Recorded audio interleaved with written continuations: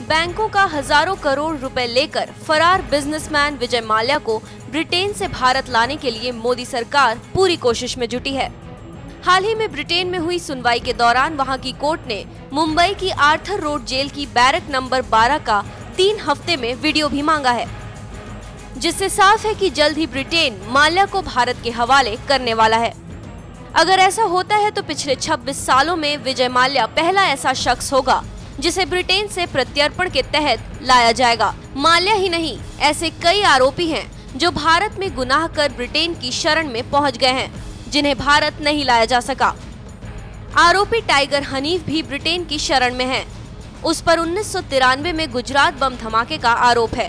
दो बम धमाकों में दाऊद के गुर्गे टाइगर हनीफ का हाथ था, जिसमें एक बच्ची की मौत हो गई थी। मशहूर गायक गुलशन कुमार की हत्या का आरोपी नदीम सैफी भी ब्रिटेन में ही है। उन्नीस में टी सीरीज़ के मालिक गुलशन कुमार की हत्या के बाद नदीम सैफी ब्रिटेन भाग गया था, जिसे सौंपने के लिए ब्रिटेन तैयार नहीं हुआ। एक और भगौड़ा रविशंकरन भी ब्रिटेन में जाकर छुपा है। उस पर साल 2005 में नेवी वॉर रूम से जानकारी लीक करने का आरोप है। भारतीय वायुसेना के खुफिया अधिकारियों को इसके पास से पेन ड्राइव मिली थी, जिसमें भारत की समुद्री तैयारियों से जुड़ी जानकारी थी।